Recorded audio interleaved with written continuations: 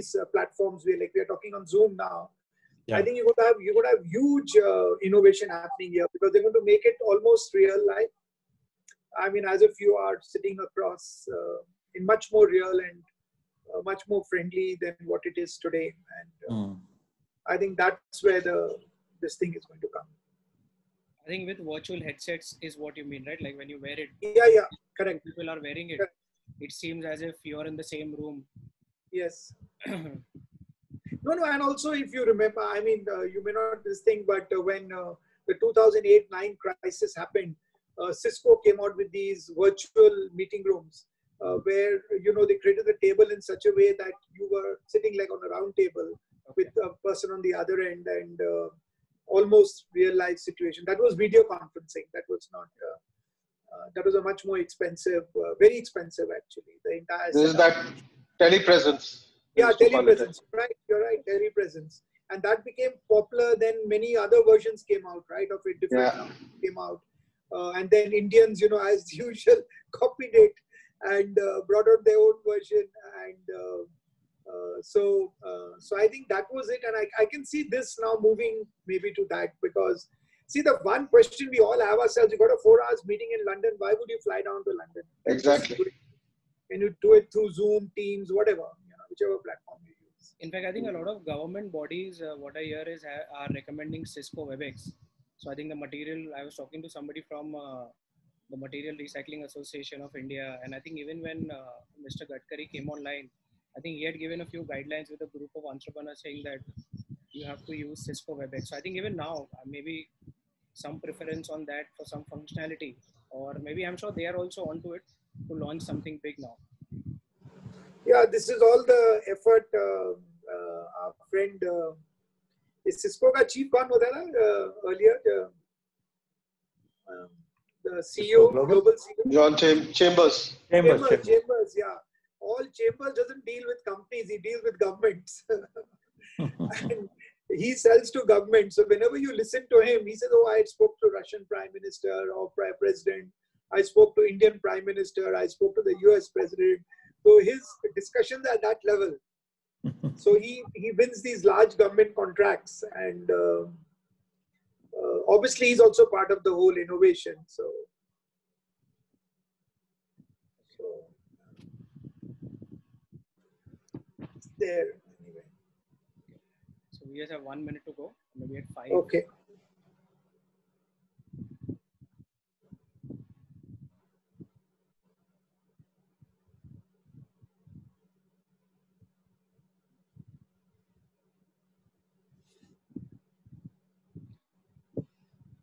Okay, it's five. We'll start. Shall we? Okay. Yeah. Okay. Good evening, everyone. Firstly, a happy World Environment Day to all of you. My name is Karan Thakkar and I'm the founder of Threco, the recycling company. Thank you all for being here today. For years now, we have known that climate change is real and the results can be quite devastating. The last decade, we witnessed maximum number of natural calamities. This year, we have seen the worst side of nature when human intervention was at its peak, and the best side of environment when the human intervention was least. So this day becomes really important to reflect on the interconnectedness with nature as to where we are. This World Environment Day, rather celebrating the fruits of nature, we are worried as we are in the midst of earthquakes and cyclones. Somewhere we had also accepted and given up that nothing can change. However, in this lockdown, we could see that by imposing some self restrictions, there can be some positives in the environment. Sustainability 2.0 in times of COVID 19 is a webinar series we have launched to start conversations and share insights with entrepreneurs and leaders about environment and sustainability. How do we move forward from here is a big question mark. Hence, in today's webinar, Reset, Restart, and Recycle, we have the best of the best with us today, a power packed panel of speakers. Today, we have a panel of thought leaders who have seen the length and breadth of corporations and seen many strategies and execution cycles that has shaped corporate India. Here's a small fun fact. Before I started my company, I worked at KPMG for three years. And this was the time well, while I was at the mines, I found my purpose to start a recycling company. And Richard was the head of the risk advisory vertical that time. So he's my boss's boss. He's actually my ex, he's my ex super boss. And having other leaders from Ernst & Young and McKinsey takes me back to the memory lane. And I'm very glad that we've got the best possible combination on this World Environment Day. All of our panelists' introduction can actually run into pages. And hence, I'm sharing a very brief about all of them. Our first panelist, Mr. Richard Rekhy. Richard is presently a board member of KPMG Dubai. He's a former chief executive officer of KPMG in India, where he was a member of the global board and the council of KPMG International. With over 36 years plus experience in consulting and professional services, Richard has worked in Arthur Andersen, Ernst Young, and KPMG, where he has spearheaded the firm in various capacities. Welcome, Richard. Thank you. Our second panelist, Mr. Anjani Agarwal. Anjani retired from ENY in June 2019 as Global Metals Sector Leader and Global Client Service Partner. 40 plus years of professional experience, 26 years as partner at EY, had set up the consulting practice for EY, worked across most business sectors. Welcome, Anjani. Thank you. And lastly, Mr. Suvajoy Sen Gupta.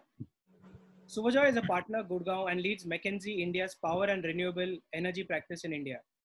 He brings 26 years of experience in serving global energy companies across Europe, Middle East, and India. Suvojoy also leads the firm's work with the central government, working across multiple ministries, such as those for railways, power, coal, and renewable energy. Welcome, Suvojoy. Thank you. So, my opening question to all of you is that the world around is changing so rapidly. What are the drivers for this change? And what impact does this have on environment?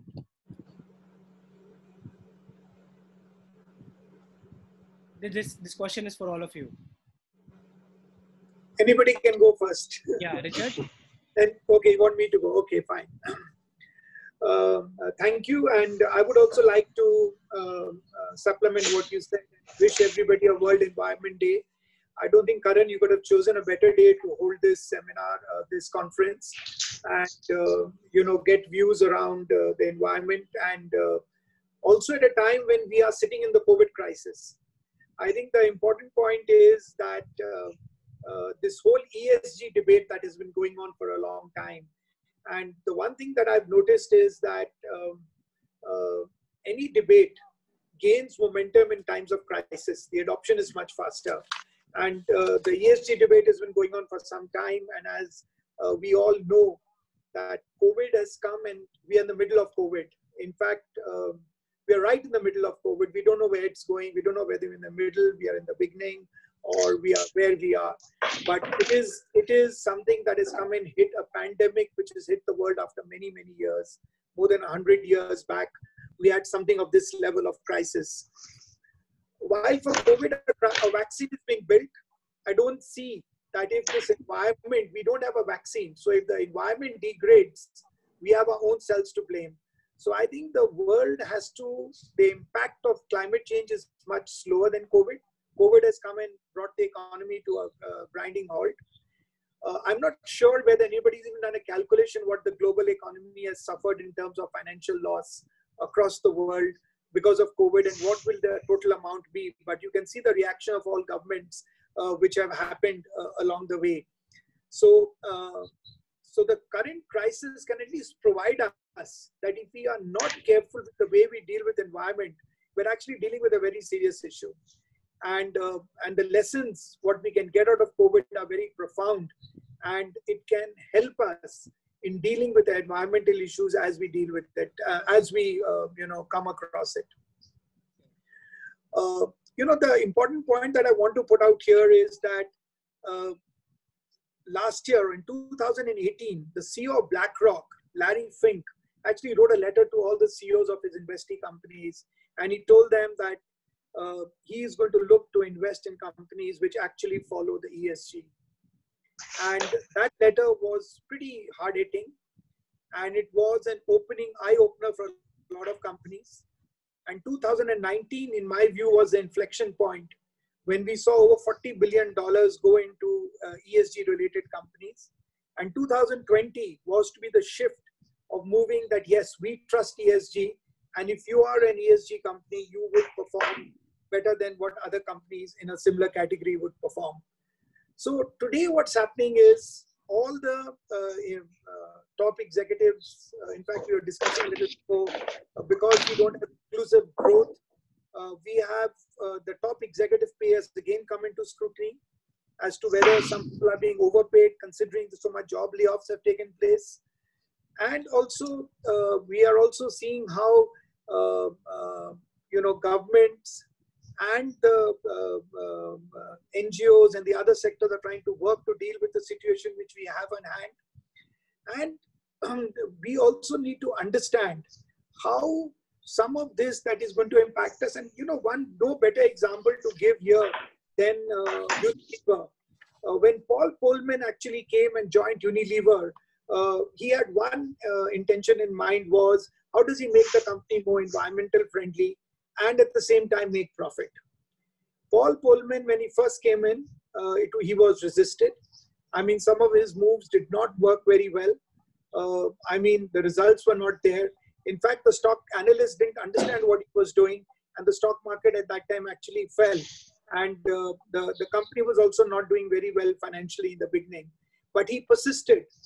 And uh, he, in fact, uh, he was the one CEO who went back to his shareholders and said, I'm not going to give you quarterly results. And Wall Street, in a way, punished him for it because he said, I'm not looking for short term profits, but I'm looking for long term kind of gains. And he tried to build in a system in which he could bring a sustainable company up. And during his tenure as the CEO of Unilever, the share price more than doubled. And that is reflection. His profit went up. He went in for new brands. He went and acquired brands which were more eco friendly. He went into uh, encouraging his executives to think through usage of less water, uh, you know, bring, uh, you know, bringing back uh, health to the soil. I mean, various initiatives that Unilever took at that point of time and became what it became. So I think, you know, the advantage of that is there. Secondly, recently we have seen the European Commission come out with a regulation that they want to bring a low carbon economy and they are bringing what they call as uh, um, um, uh, stable financial system uh, where they are saying that uh, sustainable finance, that means they are going to fund those companies which are actually employing ESG into their, so capital flows are going to go into those companies which have sustainable investments. So we are finding regulatory also now trying to push this. And uh, there is empirical evidence on the stock markets which are showing that similar kind of ESG companies these are early days. Let me tell you, these are very, very early days. And ESG companies are performing better than their peers. And of course, these are all, uh, I mean, there's no 100% this thing, but uh, for example, the Morningstar reported that 51 out of their 57 companies uh, showed better performance, outperformed their market competitors. Similarly, uh, MSCI had 15 out of the 17 companies actually uh, outperformed. So I think there is also financial evidence that uh, it is there.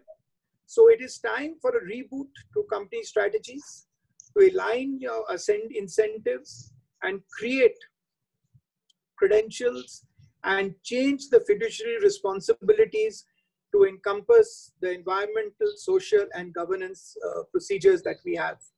So these are my opening remarks, uh, Karan great. I think uh, many will follow the Unilever example and uh, definitely governments coming forward, uh, giving uh, these um, uh, financial stimulus packages to companies who can prove that they have done something for environment. Anjani, over to you. What would be your opening remark on this subject? What are the drivers of change? How does it impact the environment? Uh, thanks, Karan, and greetings to all on the World Environment Day. So let me set uh, the context uh, before COVID and when the COVID arrived.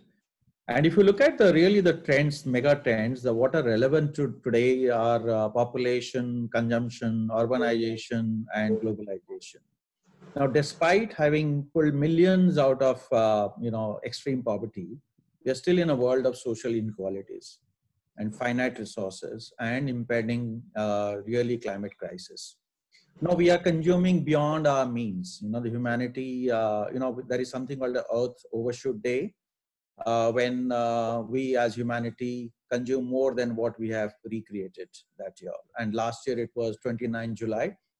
And within uh, 20 years of uh, measurement, we have moved that up by two months. So we are, we are, we are moving really, really at a faster pace. Um, we are in Asia, so Asia would uh, contribute maybe 50% of global GDP, uh, but also consume 40%. But what is relevant is really the middle class consumption. There will be 50% consumption in, within Asia, and with every consumption there is waste.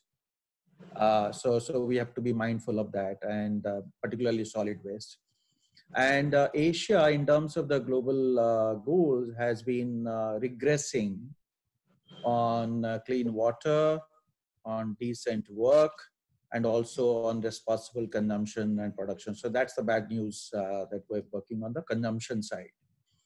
Uh, look at the interplay between uh, what uh, population and environment. You know, since 2010, hunger for commodities has uh, has eradicated 50 million hectares of deforest prime forest and what it does, you know, deforestation really affects water security, biodiversity, uh, some of the large, uh, you know, emphatic uh, medicinal breakthroughs, loss of carbon sink for the world, uh, displaced tribes, and also dissatisfied farmers. And, and the impact really is not linear. You know, we, we last five years were the warmest in history, with 2019 uh, peaking it with the highest, warmest year ever. And uh, in a couple of years back, as many as 18 million people were displaced by, by climate change. Uh, God knows what will be the impact this year. And the nexus between uh, really the, the water, the energy, the food, and, and the climate crisis is, is more robust and more visible now. Uh, and and uh, and we are more and more convinced that the planetary safety for humanity and the equity from a societal perspective are you know two parts of the same coin.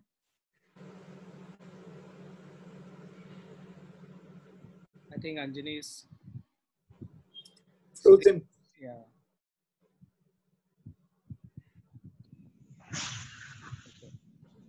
So you know taking a leaf from what anjani said uh, moving on to Sumoja, Sumoja, there is data that maybe in the next, uh, say by 2050, uh, there will be many communities that will be either by rising water sea level or scarcity of drinking water.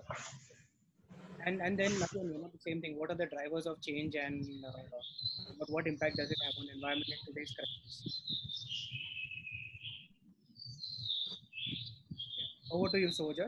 Yeah, thank you. I hope you can hear me and uh, uh, again, greetings on World Environment Day uh, to everyone. Uh, I think, you know, this is one something that we've been talking about for a long time, but last year as McKinsey, we published a report uh, on climate risk and response, which looked at the physical manifestation of climate risk uh, across different uh, parts of human activity. And the conclusions were quite stark that, you know, we looked at it across uh, different elements like the physical risk drivers like floods, droughts, heat waves, cold waves, wildfires.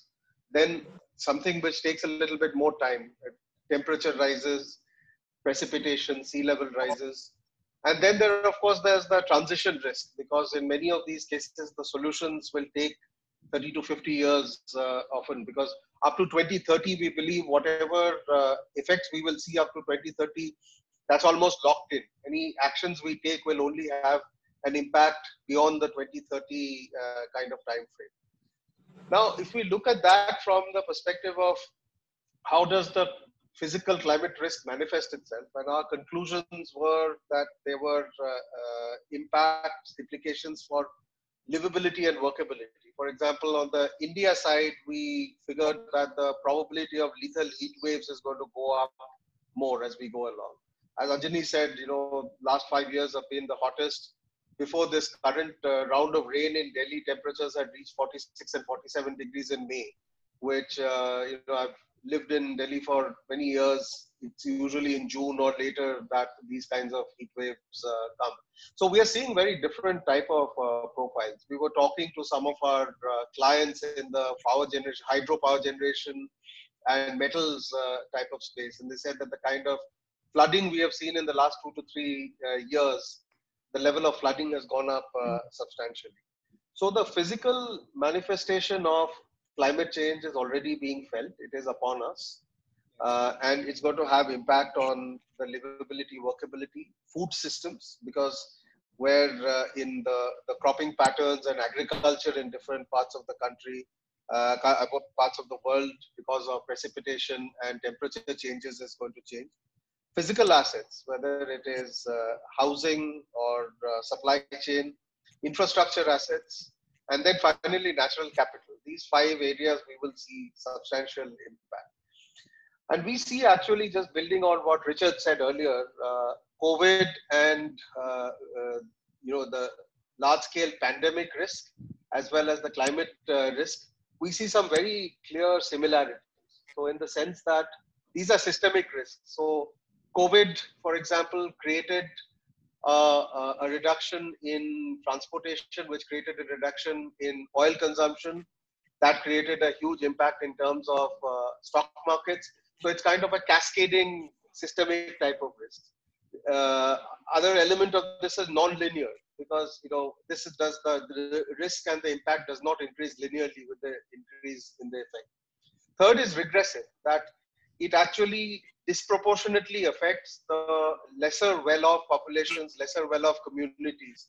So both climate risk we have seen as well as pandemic uh, is uh, similar to that. And finally, I think both, you know, while we like to think of them as black swan events, but a lot has been written about and well researched. So one can argue that both could have been, you know, foreseen and necessary actions could have been taken.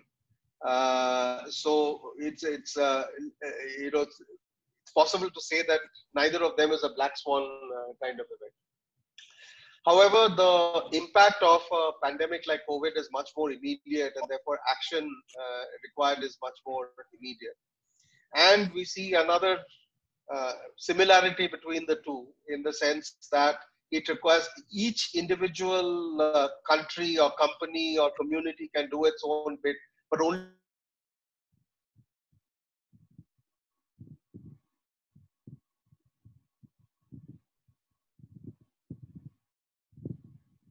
going forward, what do we see how this is going to uh, get affected? Points out I think the first is that, that the uh, of this kind of a uh,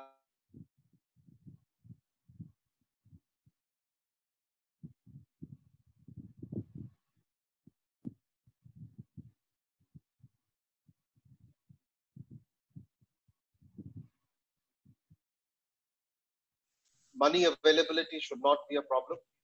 And the third is that you know at the end of the day, the consumer's uh, uh voice speaks, and we are seeing that already in uh, Europe and parts of US, where consumers are voting with their wallets for more mm. environmentally sustainable products, mm. whether it's in fashion or food or uh, other areas. Of course, it may take a bit more time for that kind of awareness and that kind of uh, consumers exercising their choice and preference to come to the more uh, emerging markets. But I think these three things give me some optimism that this is not going to get swept under the carpet. And I think also we have uh, to learn to live with a new norm, which is being online now. That is another big shift. Uh, and uh, but you know, I was in fact like we were chatting just before the panel started that how we've received uh, some shocking news today that the the uh, the coral bleaching in the Great uh, reef in Australia has been the highest this year. So I think on World Environment Day we have got some very surprising news. Uh, so great, you know, I think it's so good to get your perspective on these larger issues.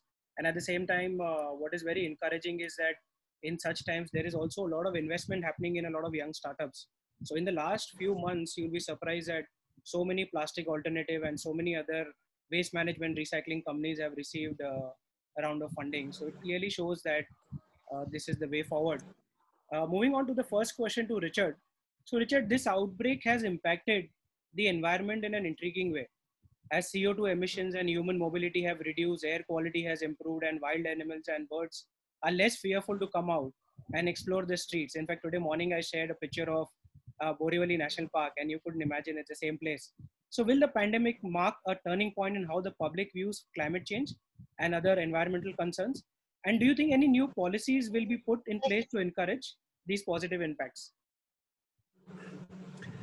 Uh, Karan, thank you. Uh, I think uh, you're so I'm right. Uh, yeah, yeah. yeah, yeah, absolutely. Uh, Yes. Karan, I think uh, the question is really good. I think it's very relevant.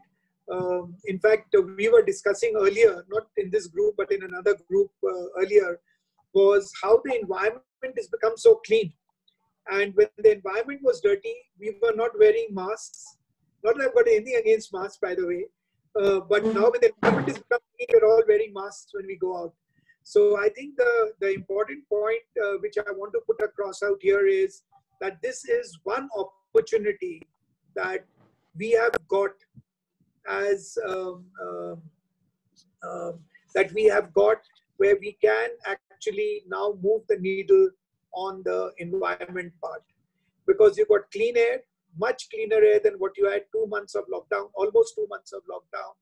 Nobody on the road or very few vehicles on the road um, less of uh, waste etc being uh, you know generated so i think it created a very different kind of uh, society secondly i think people also realized by sitting at home that this whole idea of minimalist you know which you keep talking about minimalism uh, actually got lived by a lot of people in fact i when i open my cupboard and see my suits and i say okay do i really need them you know and when when i'm going to ever wear them so today I'm wearing a jacket just because I was coming on this panel. Otherwise, I'm in a t-shirt and jeans, uh, you know, whatever. So, uh, so I think the, the the entire attitude of consumerism has taken a hit. And Anjani was talking earlier that uh, you know wasteful expenditure, high consumerism, people uh, you know consuming much more than what they need. Uh, and I think all this has come to a standstill, and people are asking themselves that question now the the most important question that you asked can this sustain uh, and again i go back to both the panelists when they said that even much before covid uh, i think environment was a topic of discussion. I think the more forward looking companies took it forward. I gave you the unilever example. There are many more companies. There are so many companies in india also which are following good environmental practices. So i think this environment thing has remained. And also like i said uh, you know, like uh, uh, for people who are in, and I'm talking of corporate governance now back when corporate governance was not in India and when clause 49 came in, which made it mandatory, you saw people move and people got, you know, premiums for having good governance practices. The same thing is going to happen on ESG. And I can see that going to drive a lot of decisions in boardrooms. Companies will need to remodel themselves uh, coming out of COVID will need completely new business models. And if you're going to put out new business models, why would you not look at it uh, Uh, from a more long-term perspective? Because I think the one lesson that we have learned is that this COVID is not one time because COVID in different forms is going to come and hit planet Earth again and again. So business continuity, innovation, new ways of working, being less this thing degradation to the environment, ensuring that chemical substances are replaced with natural uses. We're going to see restoration of forest. Uh, I mean, I think Anjali spoke about restoration of forest. So this is going to be a big thing. You know, you cannot. And when you, uh, Karan, said that, okay, animals have come on the road, animals have actually come and reclaimed what was theirs. Yeah. We had taken this away from the animals. Very true. And they came back and said, this is ours. You know, what the hell were you doing on it? And uh, so I think uh, reforestation, you know giving back to environment what is environment and actually becoming consuming what we actually need and not for our greed and that we want to become rich. And also i think more important is going to be this whole divide between the rich and the poor. Uh, this is going to you're going to see a lot of inclusivity brought in. You're going to see a lot of how organizations are going to remodel themselves. I have a feeling this is an opportunity for the world. It's an opportunity for the corporates the governments and the, the uh, civil society to come together and say what are good practices we can put together and how do we actually make this environment much more friendly so that uh, uh, you know all these calamities just i think you spoke about it uh, uh, these um, cyclones and these yes. earthquakes these are also a part of the way we have degraded the environment and uh, a lot of it has got to do with that so i think it's all about giving back and i think i think leaders are now thinking beyond their four walls. And uh, this kind of environment that we've been forced into makes us also the ability to think beyond. You know, earlier we were very physical in our thinking. We would sit in our office, we would do our meeting there, we would go and meet somebody. Today, you can go and meet anybody in the world. I mean, you just need to be on one call and you can you, you can do business, you can do various kind of things.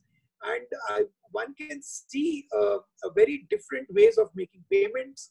You know, this cryptocurrency, I, just want to mention this cryptocurrency because this is an important point uh, uh, when cryptocurrency first came, it was more like a, uh, you know, uh, somebody gambling or trying to make money out of it. But now China was thought of a cryptocurrency which was backed by Central Bank of China. So whether these are going to be the new norms in which, because if everything is going to happen on e-commerce, so settlement also will take place there. So I think we are moving to an age where people are becoming more responsible. And this is an opportunity for leaders to think through some of their strategies as they come through. Because which, whatever you may say you are not going to come back to the normal before covid. It is going to be a new normal. And what that new normal is i don't none of us can guess. So we will be moving to that and i can see business leaders moving there so you know in fact surprising yeah. even even for us uh, the kind of conversations we've had with companies has been the most in the last 2 months where a lot of corporates sure. have actually come forward and started saying that let's have a conversation let's try and understand how do we become waste neutral and minimalism sure. is a new trend and i think uh, yeah. good, i mean very glad that you highlighted i think a lot of uh, millennials are also following that trend which is i think very good for environment really questioning that whether you really want to buy something uh, or whether you really you really need something so moving on to Anjani, do you think mitigating risk remains a non-priority until a disaster strikes how does the environment risk assessment change for organizations in the light of COVID? No, I, I think uh, mm, environment risk and uh, risk of natural disasters have never been the unknown unknown ever. You know, look at any risk register of any corporates, you will find this as a line item. What was lacking was about acting on this knowledge. So that was well lacking, largely because maybe uh, the frequency was very different. And who knew? I mean, we had the seventh earthquake uh, in northern India near about Delhi this year, last uh, 45 days. So I think it's the only the visible impact, uh, you know, uh, are really now feeding to the renewed awareness about risks, and and also elevating the pitch to the level of concern. And we had, I mean, this year we had possibly every possible shock uh, that can happen uh, by nature. And nature always is abundant, but nature has been also uh, able to challenge, humiliate humanity anywhere, anytime uh, of its choice. But uh, so, so, so from an assessment perspective, what will change though a few things, you know. Uh, so there will be better assessment of the impact of any event. I think the world needs to do better than that. There has to be a deeper understanding of really the interconnectivity of the risks and how do how do they cascade each other? What's the impact cascading impact of uh, of the subsequent risks? Uh, that can be triggered by one. So there has to be better understanding uh, greater commitment really to build capacity to manage those risks should they occur i think uh, this covid also is an example uh, which uh, has exposed humanity's uh, knowledge about uh, managing risks. And probably, I think from a corporate perspective, one could really do some pre-designed thematic plans. Of course, they will stay agile and you know require the requisite agility and the speed.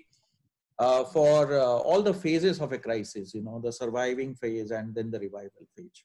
So that's some work to be done. Uh, a lot of work would require to be uh, required around the leadership around uh, a crisis time because you need a very different kind of leadership during a crisis.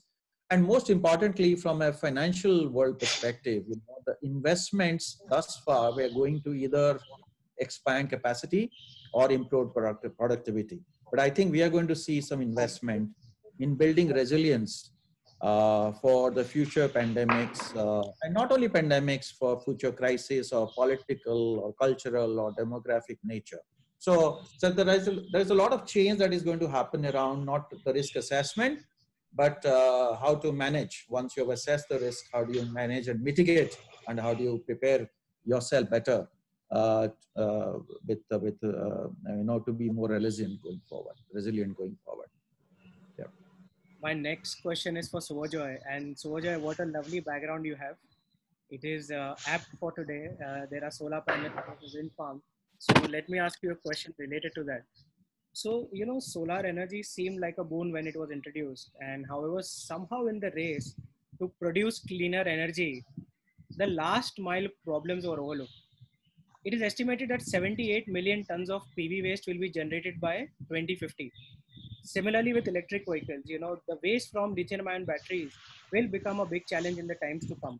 What are your thoughts on this? Thank you. I think, uh, you know, it's fair to say that uh, last three to four years have really changed the debate on renewable energy. Like so since 2015, and I've been working in this sector for a long time. Even in India, if you see that from at some point 17, 18 rupees per kilowatt hour, we are down to two and a half rupees per kilowatt hour, right? So, and on a non-subsidized basis, I think what mm. India has been able to achieve, it's quite, quite remarkable. And going forward, the renewables, both solar, wind, and who knows, maybe other technologies also in the future, will play a very important role in meeting the, uh, the growing demand. You know, if you see India, the uh, per capita consumption of electricity is very low still, about 1000 uh, kilowatt hour per person. Compared to in China, it's three and a half, 4000 kilowatt hour per person. Japan is 10 plus thousand kilowatt hour per person. So we have, uh, you know, there's still a lot of headroom in terms of uh, the growth of the uh, consumption. And clearly, this has to, renewables have to play a very big role uh, within that. Challenge in renewables, as we know, is only when the sun shines or the wind blows, we have renewable energy. So I think we will see different models emerge in renewables already. Some innovative structure like combining renewable with uh, batteries or renewable with hydro, or even in some cases, I think renewable with gas and uh, coal. To say that, look, we blend these two. One is uh, somewhat uh, uh, uh, intermittent source, which is solar and wind and the other is a little bit more predictable, flexible source. And you combine these two, you get uh, what we call dispatchable energy, which is when we need it, how much we need it, we are able to control. Now, uh, that that means that from today, which is 75 to 80 gigawatts of uh, solar plus wind that is installed in India, that will go up to maybe in a 2050 time frame, five to 600 gigawatts. That's a huge, huge uh, jump. Correct. So uh, it's a it's an opportunity, but also a risk uh, in terms of there isn't much of a salvage value of a solar plant after five to seven years because the technology is moving so fast. The new uh, equipment, it's like a, a, mobile phone, right? A five-year-old mobile phone has no salvage value and it has to be recycled in a uh, you know proper possible way. Nobody is going to pay you anything for that uh, mobile phone. So we will see some of this, uh, just like we've seen e-waste uh, coming up. Uh, we will have. I'm sure you know the. I can talk about India and emerging markets. There are lots of great entrepreneurs, and they'll figure out a business model for uh, doing some of this and uh, you know uh, figuring out a way to make it economically viable but we do need those parts of the supply chain to develop uh, that's for sure. Battery is a little different. So in the sense that uh, lithium cobalt nickel cadmium manganese the different uh, uh, materials that go into battery those can be actually recycled. Absolutely. So even at the end of life uh, five to ten years down the line when the battery cannot be used for electric vehicle purposes it is possible to recover and recycle uh, those uh, battery materials which make up about 40% of the cost of the battery. And you know things like lithium there's only a few countries in the world where it is found. So i'm sure there'll be viable business models that will emerge out of that. Now the right regulations need to be in place so that we have the right incentives. But i think we will see a whole new set of startups and a whole new set of uh, business models commercially viable business models that are going to develop in these areas going forward. But but do you think is there an oversight or do we miss out on uh, the, the last mile when when introducing uh, uh, say solar panels when they were introduced? So I'll, I'll share uh, an interesting uh, conversation in one of the seminars where uh, companies were presenting on solar like you know how installation should be done and how it can be become it can be more efficient but no one spoke about recycling because you know the large solar projects are actually installed in such deserted locations I think once the solar panels are absolute waste, to taking it back and then recycling it becomes a big challenge. Do you think in the times to come this will change? That when introducing uh, a cleaner source of energy, or for, for that matter anything, there will be a more cautious approach that what will happen to the last mile, uh, and a lot of preparation will be done right at the beginning rather than thinking about it later. Yeah, I think so. So if you look at it, most of the capacity in solar in India, the 35 gigawatt or so, most of it has come in the last three to four years, right? The bulk amount, seven, eight, uh, six, seven, eight gigawatts per year come in the last four to five years. And these things have an economic life of 20. This is probably because this is not that big a problem right now and there isn't a critical mass. That's why they're not thinking about it. At the same time, I think regulations are also going to be tightened. Just like you know, when at the beginning of the computer boom, there wasn't much of an e-waste uh, uh, industry to think about, right? But as it picked up and the critical mass started developing, the regulations also came in place uh, in order to do that. Even if it is a you know remote location, you always have vehicles which are going there at uh, uh, project sites, etc. So the reverse logistics of it is not something that is a that is a uh, real challenge. Yeah but yeah, I, I do agree there need to be the right kind of uh, regulations in place and the right kind of incentives in place, uh, uh, both in terms of incentives and penalties, uh, to make sure that this kind of waste is taken care of and recycled in the most optimal way. So, in fact, you know, I'll come back to you on the car recycling policy and the solar recycling policy as we progress. Uh, Richard, uh, the next question is to you. So, you know, tech giants such as Facebook and Google have extended their work from home policy till the end of the year. With some of the world's largest companies making such announcement, it seems likely that many businesses worldwide will follow suit if possible. In a population dense country like India, where the public transportation system in urban cities is usually overburdened, we have now seen a significant drop in the use of public transport, personal vehicles and commercial vehicles how does this impact the economy and particularly the transportation related sectors? And do you see this changing and having a long term impact? Yeah so we had google and facebook announce it globally. Uh, we have tcs announcing it in india that uh, by 2025 i think uh, that only 25% of their staff will actually work from office 75% will work from home. Uh, and i was talking to somebody in the uk and the big four accounting firms and some of the large law firms have not have decided not to go to the office for the next few months. And i'm talking few months means like uh, we don't know whether it's going to be september or december or whatever. So you can see this uh, happening where and one of the law firms very one of the major law firms i've been told is now going to work virtual. They are never going to go back to office again. So this is the reality around the world and i think more and more people have realized See, the one very important thing, uh, Karan, that has happened is uh, that people have realized that productivity has improved in the work from home. Because, you know, when you're sitting in office, you're chit-chatting, you're getting disturbed by different colleagues coming here.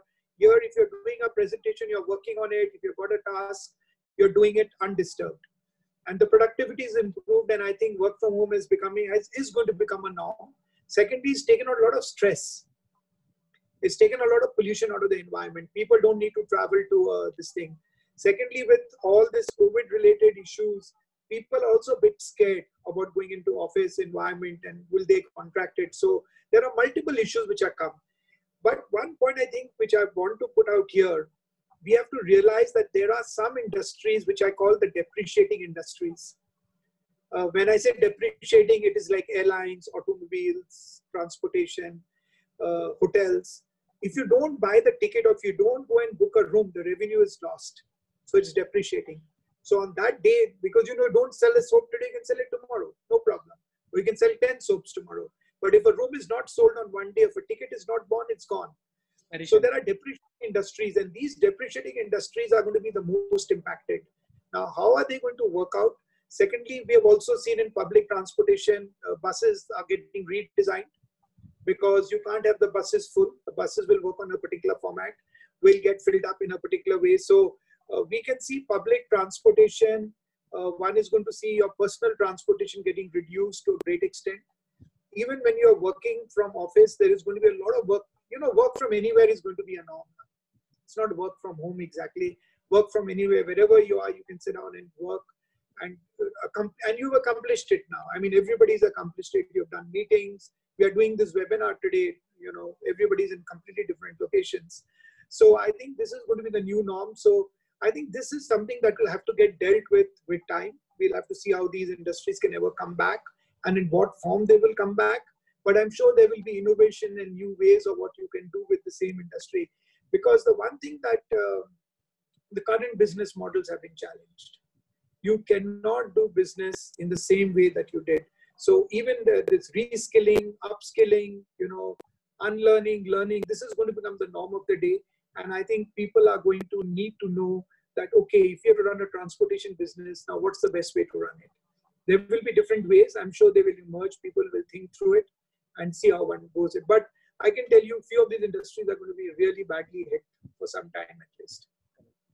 And yeah. we hope, yeah, and we hope and pray that not many jobs are lost. Uh, but at the same time, I'm sure this the city like Mumbai and Bangalore, which is always uh, the traffic issues are so much. I think there could be some benefit out of the new norm. Yes, uh, that we absolutely are experiencing.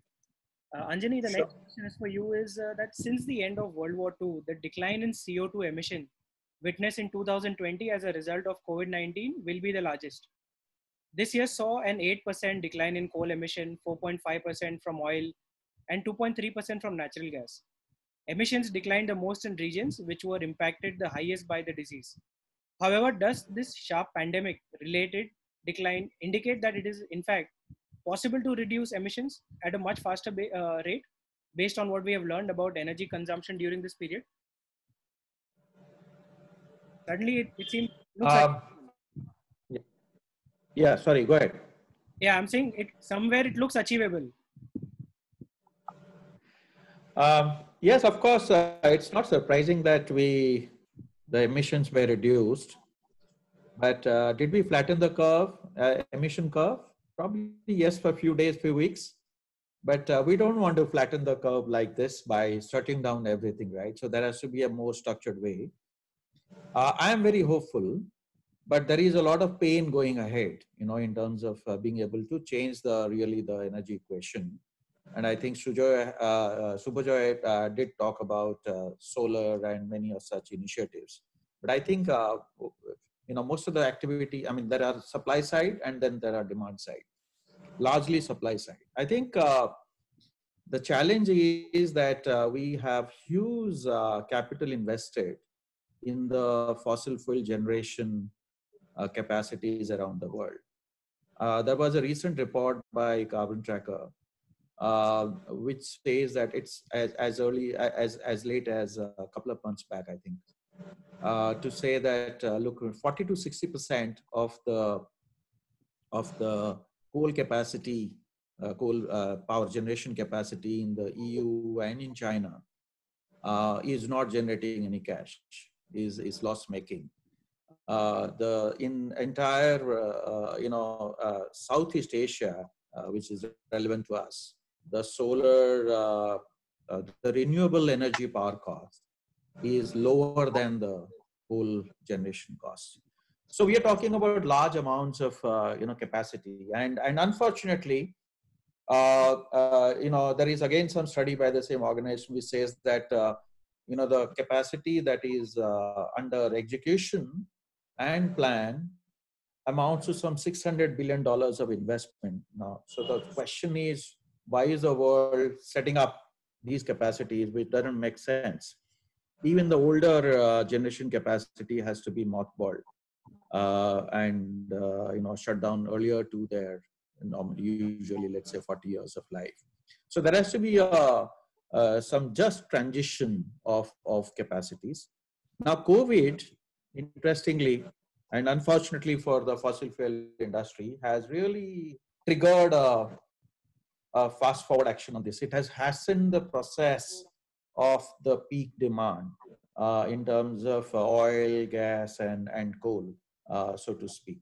And there are studies, a 2% fall, annual fall in, in, the, in the fossil fuel demand would impact the, this industry by $25 trillion. So yes, there is a huge amount capital invested. There has to be a just transition because there are, we are talking about capital impact on this industry, the consumers, the financial industry. Uh, I, you know, for example, this industry uh, almost uh, is, uh, by some uh, estimates, is 25% of the capital market value. So you can't make all these changes in a day. It has to be a just transition. So, but then we are hopeful, given the immense interest uh, shown by largely private sector and uh, everybody else in the world other than the uh, fossil fuel surplus countries. Fortunately, India is not one of them. So we hopefully will see better times. We're already seeing immense capacity addition, a big move towards solar.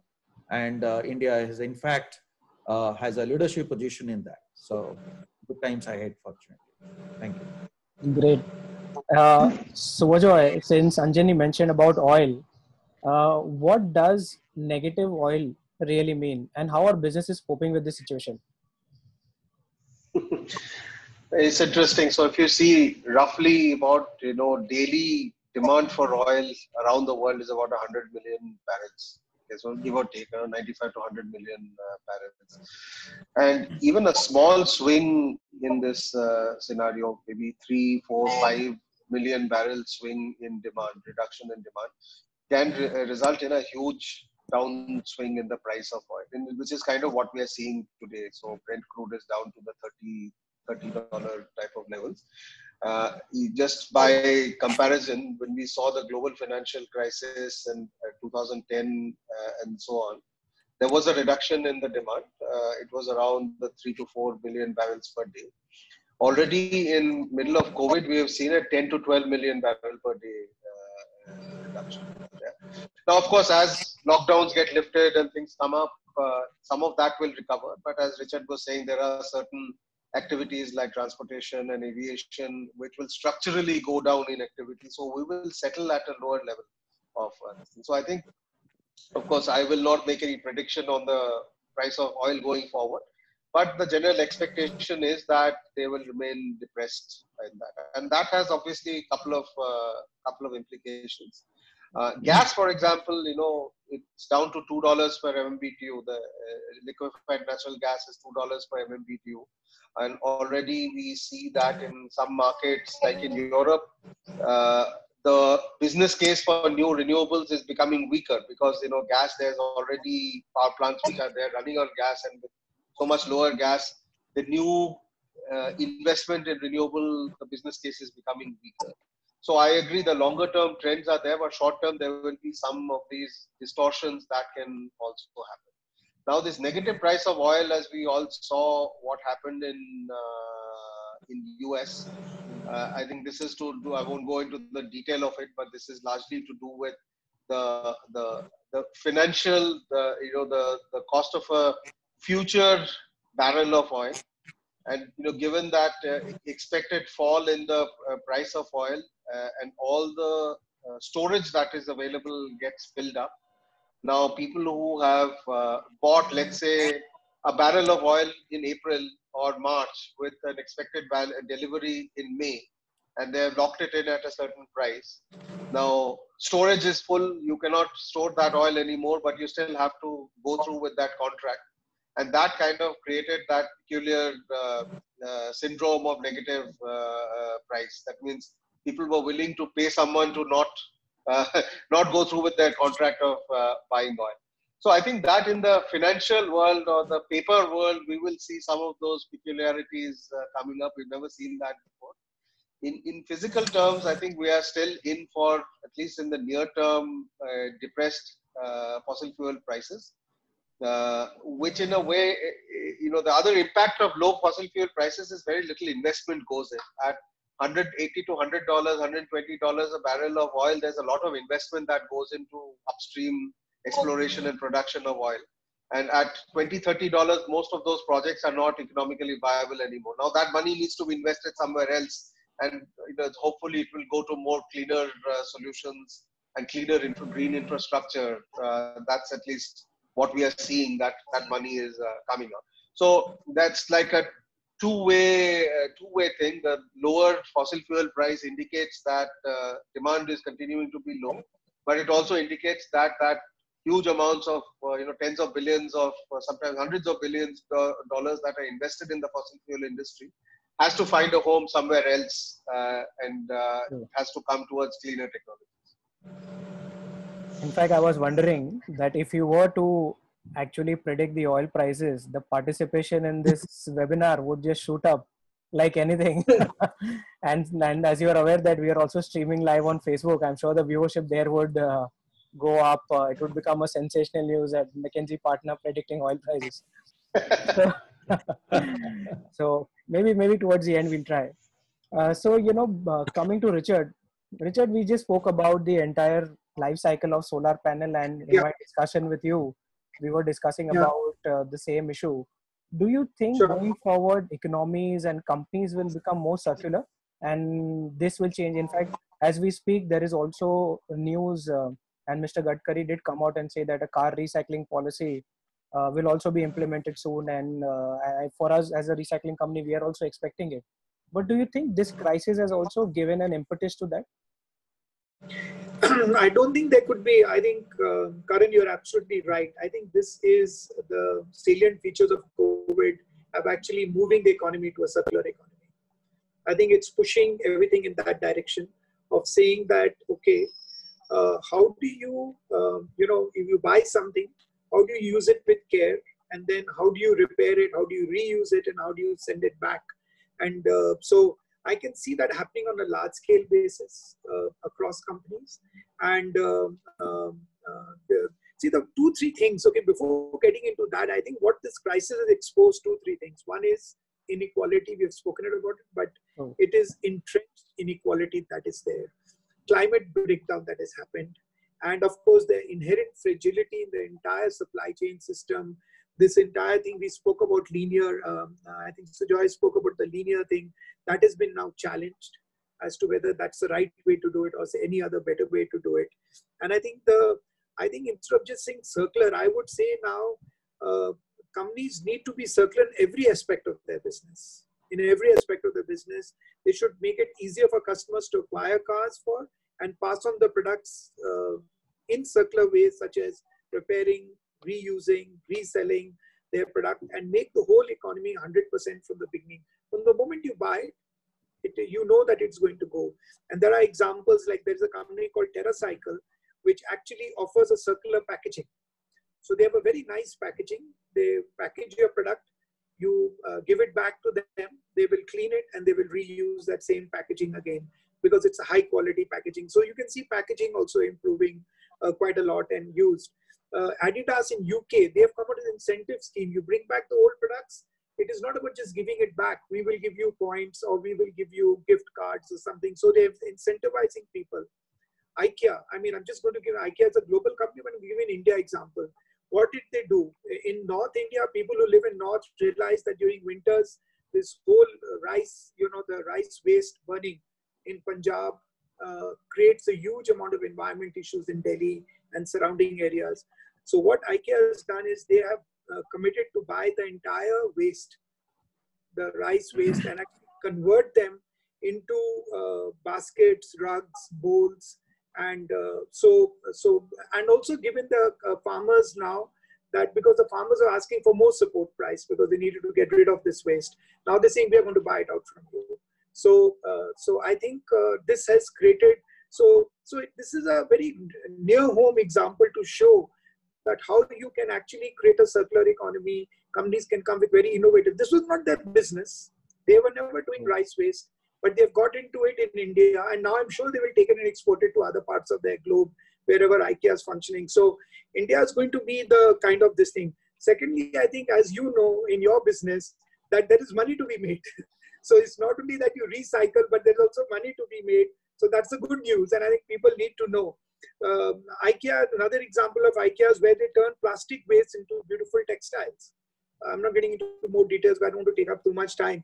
Unilever has worked on a lot of water smart solutions coming out where the water quality is not good or there is low water. They've come with solutions which uh, require less water um, and uh, they, they, have got. So I think a lot of companies are coming out with their own kind of solutions, and I think the circular economy is here to stay.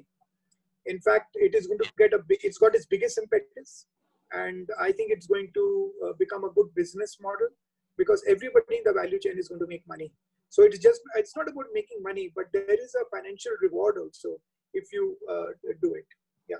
In fact, you know, uh, thank you, Richard, for sharing such uh, interesting examples. IKEA is definitely one company which has uh, done so much with the countries and you know social groups and really proven that you know to become a successful brand if you really go that extra mile uh, then then it creates a fantastic win-win situation. In fact even in electronics like you know uh, we started as an e-waste recycling company uh, to some level circularity is achieved by an extended producer responsibility whereas a brand you need to take ownership to ensure that once you have generated x amount of uh, e-waste in the country a percentage of that needs to come back and be recycled so fantastic uh, so yeah, yeah.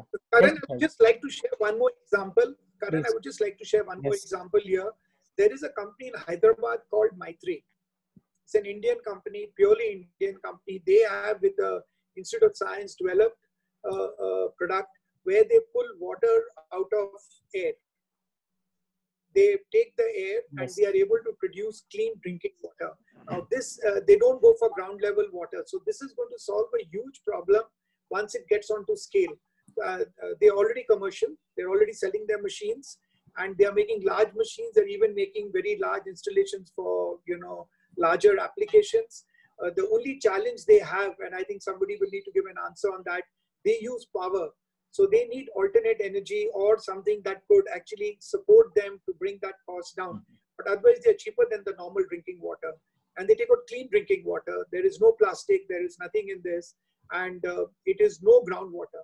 So this is another innovation I want to say oh. from a uh, you know, sustainability perspective, where somebody and this is a purely Indian company which has done it and uh, put it here. Great. Yeah, Karan, thank you. Yes, uh, Anjani, you have been running a successful sustainability sustainable advisory firm. How is sustainability relevant to business? And from a leadership perspective, what are the conversation with regards to sustainability that are going on with the teams in the boardroom? And are these conversations only short-term related or long-term ones? Lovely question. I can go on and all, but I'll be brief. So let me take the, the question in two parts. What's uh, first relevance of sustainability? So, uh, uh, you know, sustainability is, is like a like a bridge between um, natural bridge though between capitalism and democracy.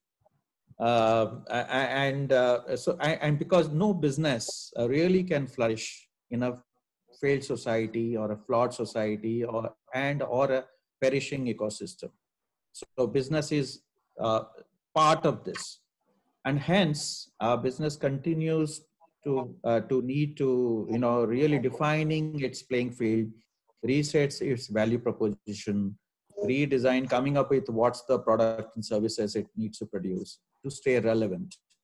It's the it's the business must hold themselves accountable to really the collective wisdom and expression of the everybody in the world who has expressed who have expressed collectively the desire to meet sustainable development goals uh, the un goals that you and I'm, I'm sure most of people are aware, aware of and hence it has a material interest in making sure that it creates or shapes a viable long-term operating environment which it can leverage to make some profit and feed into our stakeholders.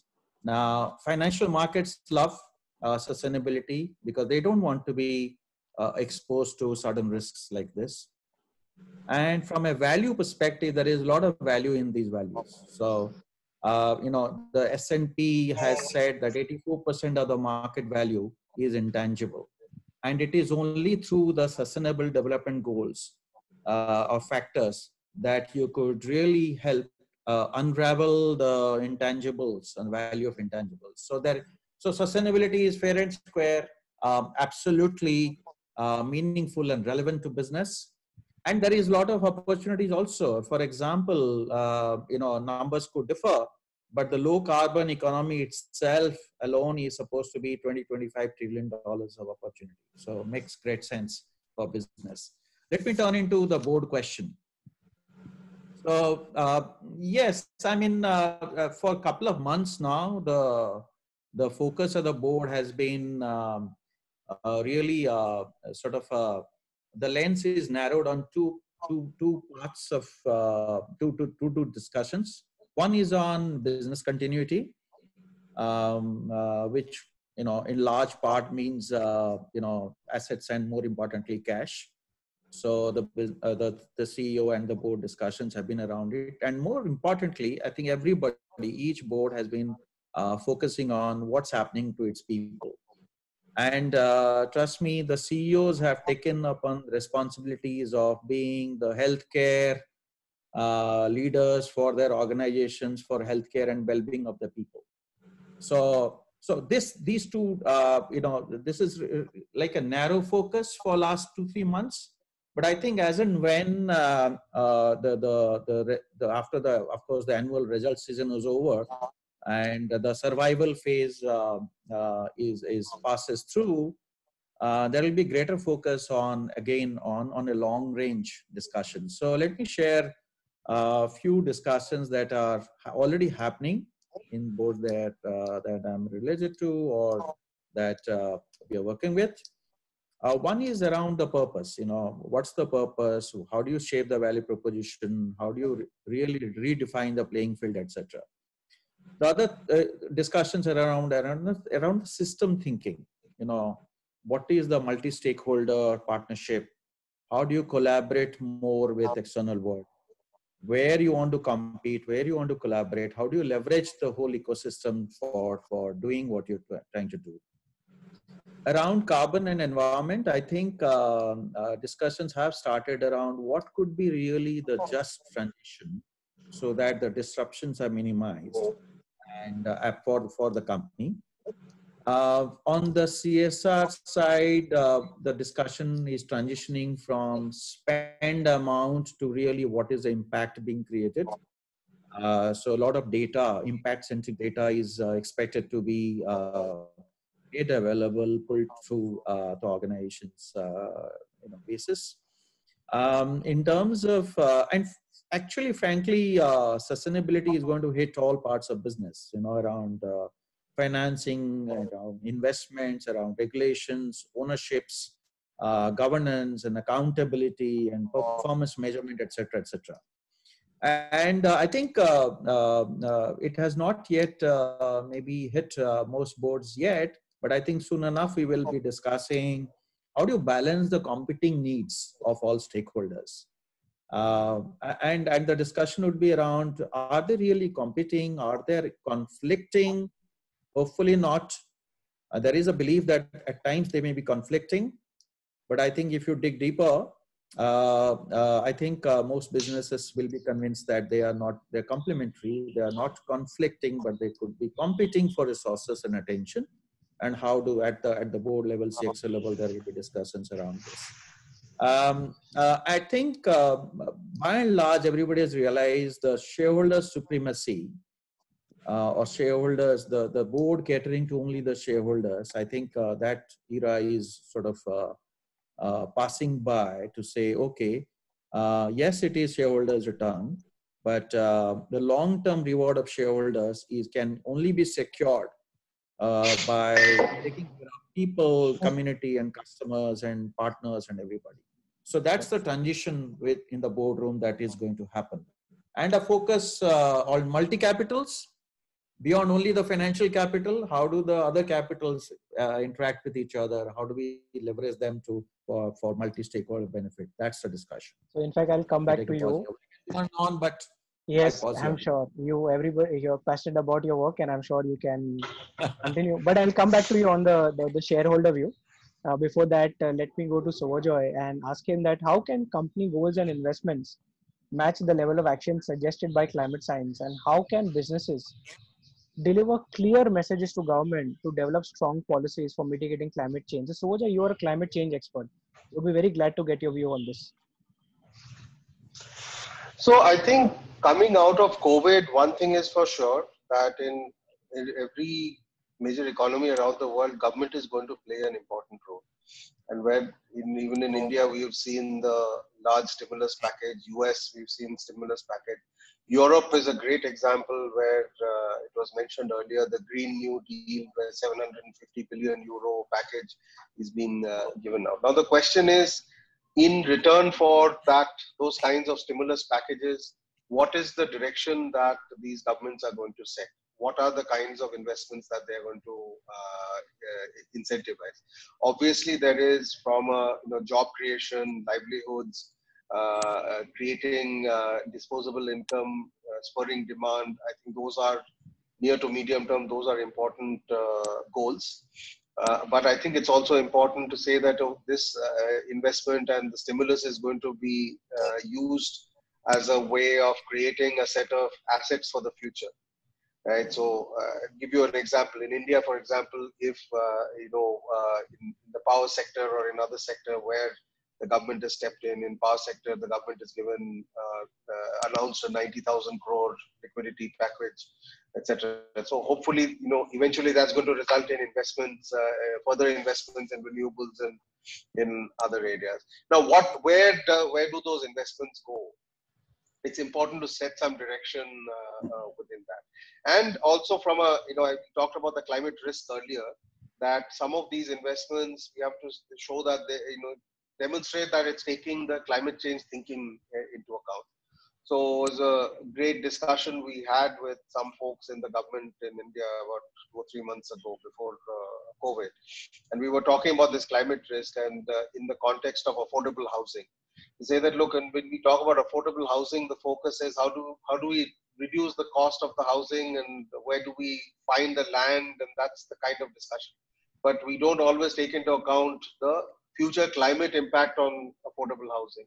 Are we citing them at the right places? Is this affordable housing being created with the kind of the right level of resilience as far as the construction practices and material and standards uh, and safety codes, etc., is concerned? So, or we are building, say, coastal highways or uh, uh, infrastructure uh, where we are expecting, you know, higher cyclones and uh, more kind of uh, precipitation are we building that in into you know infrastructure that's going to be there for 40 to 50 years? So that is one element where i think where is this uh, investment and stimulus going to be directed towards? Which uh, what principles are we going to base it on? Uh, if we are making investments for the next 30 to 50 years how are we building in the fact that yes i mean of course it'll be great if we are able to mitigate it and come back to a like a 1.5 degree pathway or uh, something like that but we have to plan for the worst uh, in in this case because that's at least in a business as usual or even in a realistic scenario uh, these risks are going to get more and more uh, uh more and more uh, accentuated. Now coming back to the company's uh, perspective just to build on what anjani said earlier as well that many companies are also saying that look individually we may not be able to do a lot but can we at a um, at a ecosystem level or at a industry level or at a sector level can we get together? And if there are risks that collectively we can uh, mitigate uh, and then go to the government and say that look these are the kind of supporting enabling uh, uh policies and regulations that we need uh, in order to do that. So i think this role of government going forward is going to be important but it's a it's a two way uh, two way role that it's government will set some direction, but also it's for different sectors uh, to come up, especially the ones that have been hit very hard, like aviation and hospitality, etc.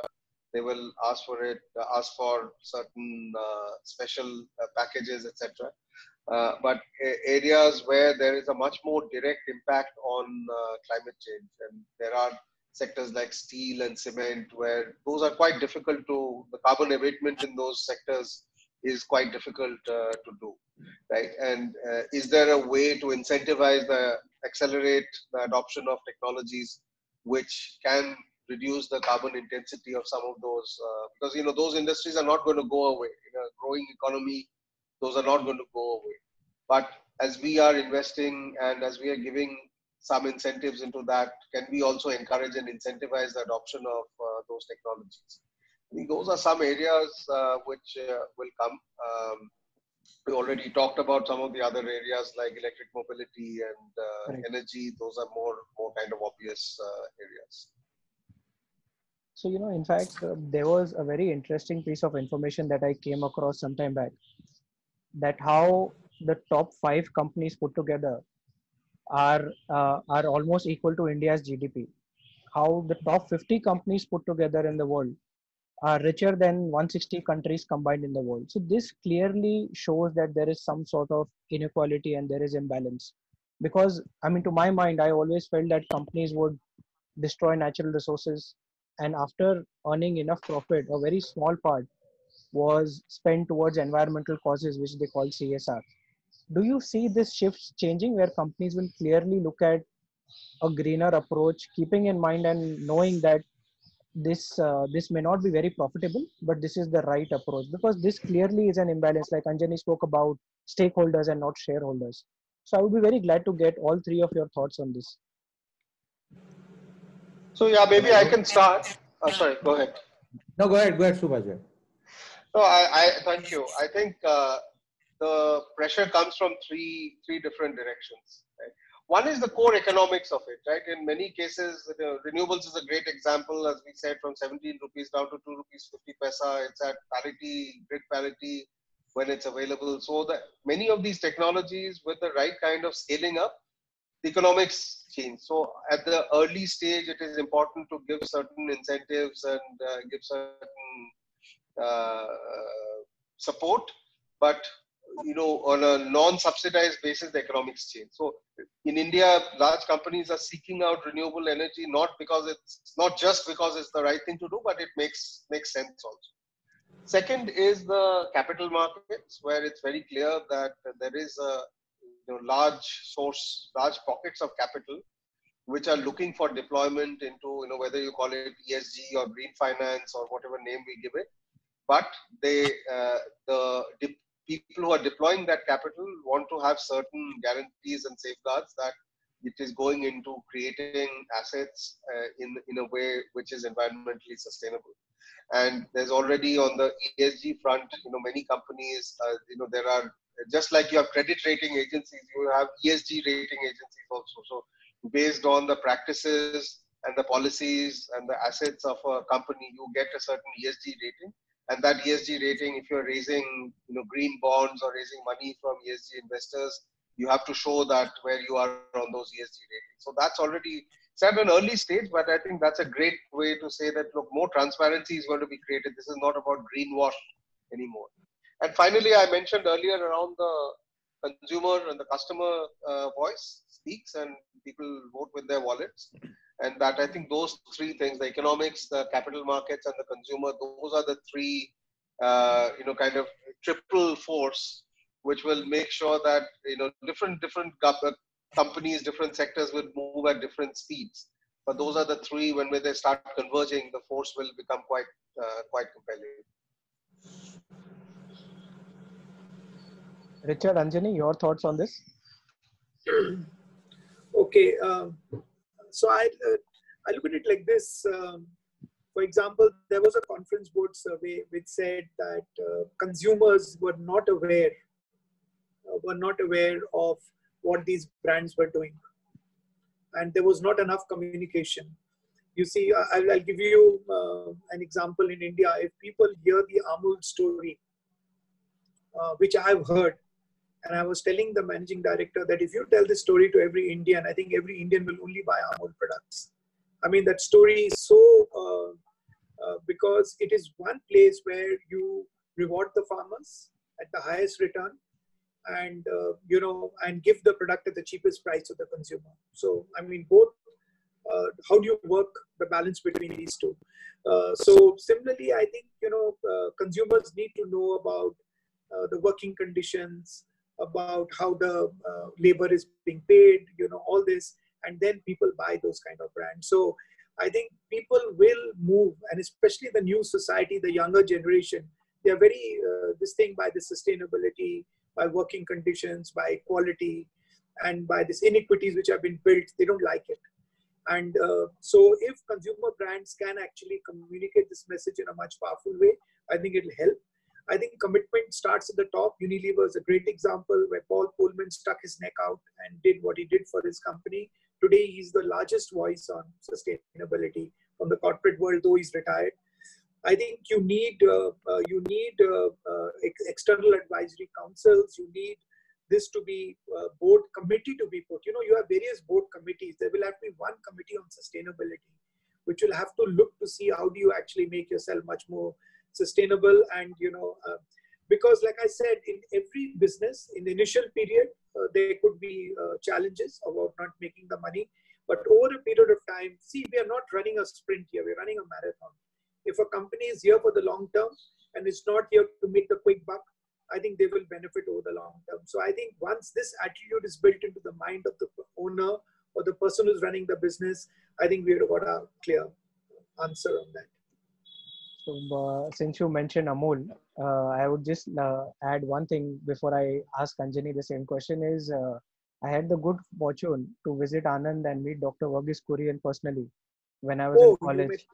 And uh, one of us asked him that, you know, what are the three mantras of success?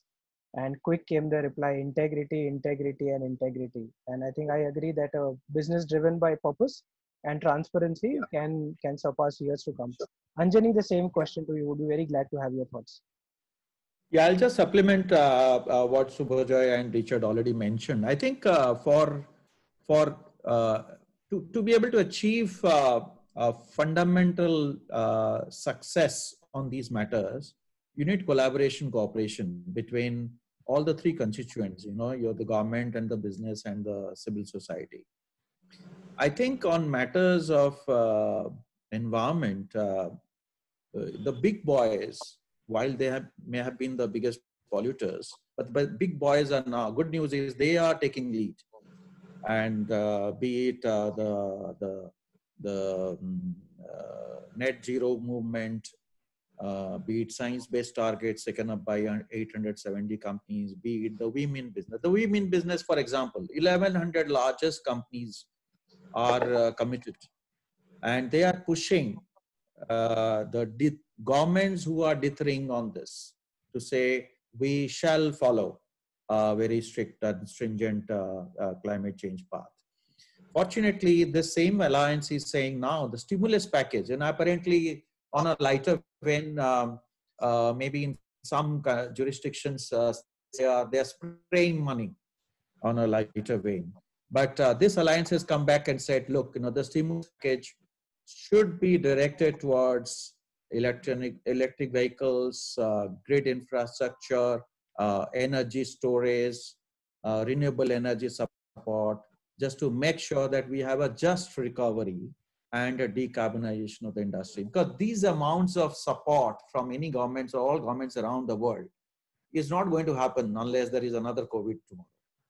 So, so everybody, the big business realizes that this is their opportunity uh, to, to, to be able to galvanize some of these uh, towards uh, a just transition. Uh, only thing we would request the government is not to hold hands from behind, but to hold hands from, from the front to be able to support these initiatives. And then we will get there. I think we have some of the brightest minds globally and the big boys of the business uh, working towards it. Fantastic. So, uh, you know, I have close to a combined experience base of 100 years in the three of you. I think it was. Uh, we should have actually kept this session over a few days and not over a few few hours or few minutes uh, because i can i'm just seeing the clock now i got so in, uh, engrossed in the entire conversation. So I think we can actually only have one last question and unfortunately not take any questions from the audiences. But what we'll try to do is connect you with our audiences in some way, our attendees, our participants, where they get a chance because some of their suggestions, their questions can be very inspiring.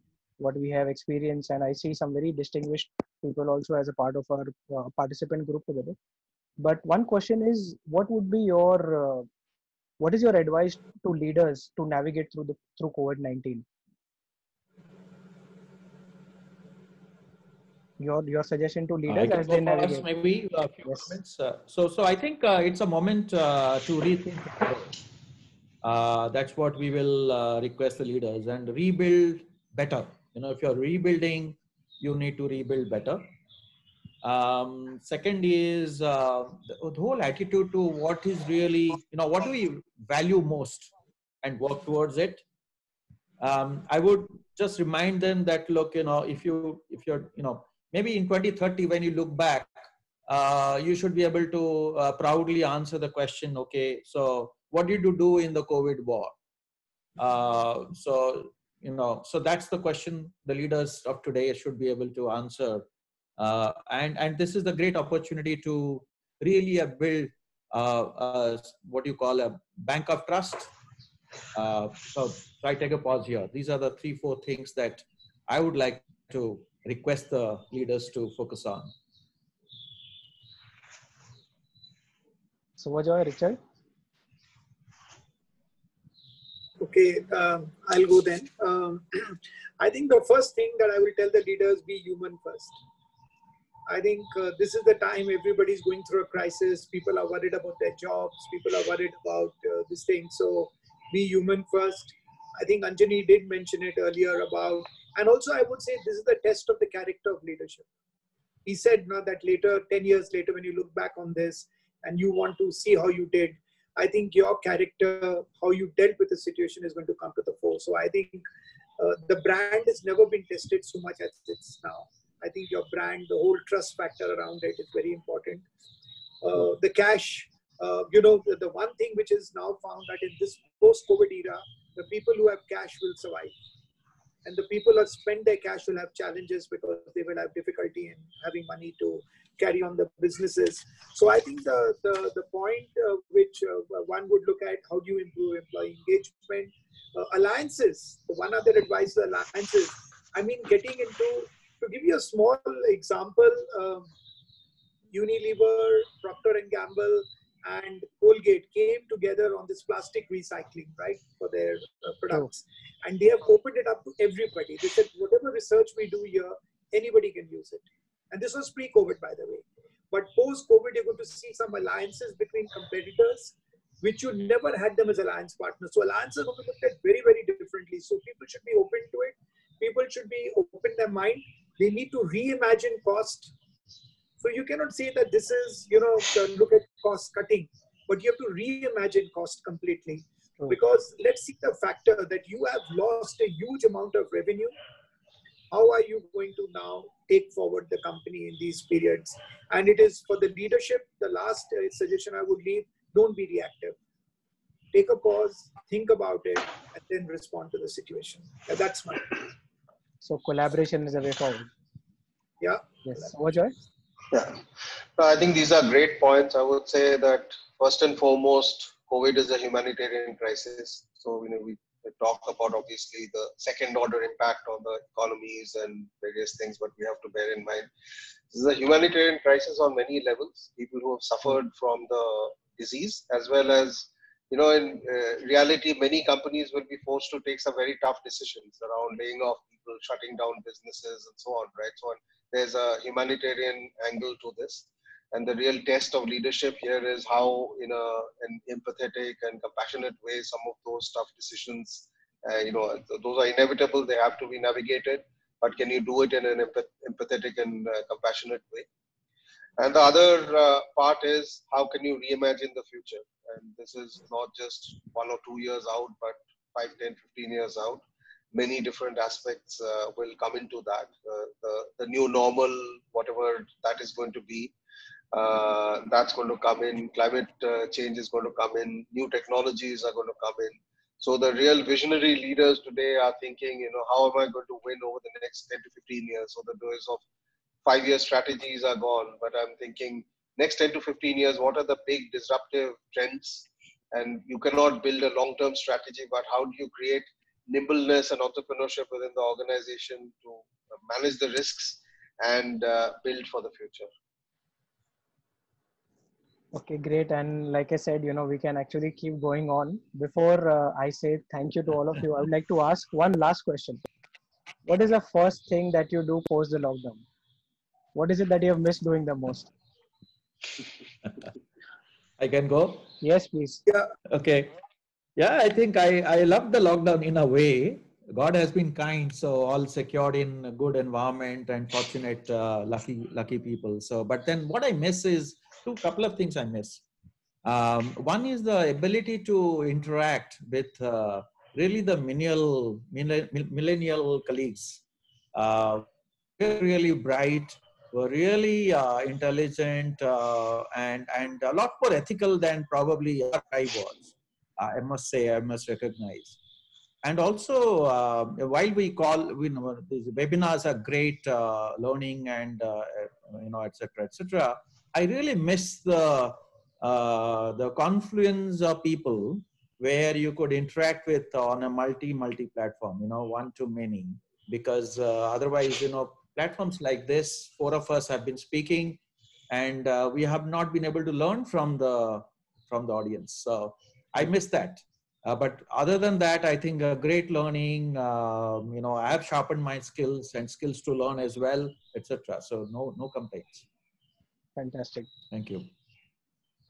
So richard yeah, so from my side, I think uh, you know I'm uh, one of my hobbies and passions is cycling. So as the uh, lockdown was lifted, the first thing I did was to go out for a cycle ride outside. Wow. I have a stationary bike at home, but it's not quite the same thing. Uh, and the first few days after the lockdown started getting lifted, the 7 a.m. to 7 p.m. relaxation in Delhi, the weather was fantastic, the air was clean, the roads were empty, so I really enjoyed that. Superb. Richard? So, uh, so for me, it is exactly what Anjani said. It's about interacting with people. I love people. And I'm not sure we'll ever be able to get back to the old way of interacting, but uh, oh. uh, the quicker, because they're social animals. Humans are social animals, and one learns from every interaction. And the more we meet people, the more we learn. Uh, I think that is something that is missed. The ability to go to restaurants, the ability to go out, the ability to do some of those things uh, and also to take part in some sporting activities, you know, whatever it may be, would be something that uh, one would love to get back to as soon as possible. Great. And I think, uh, like Anjani mentioned, the fact that uh, we are uh, home and safe, I think, is also a big blessing. And I do definitely miss sports, but but yes, can't complain. So my, I would like to express my heartfelt gratitude to all of you for taking time out you know to interact with uh, to have this discussion on sustainability.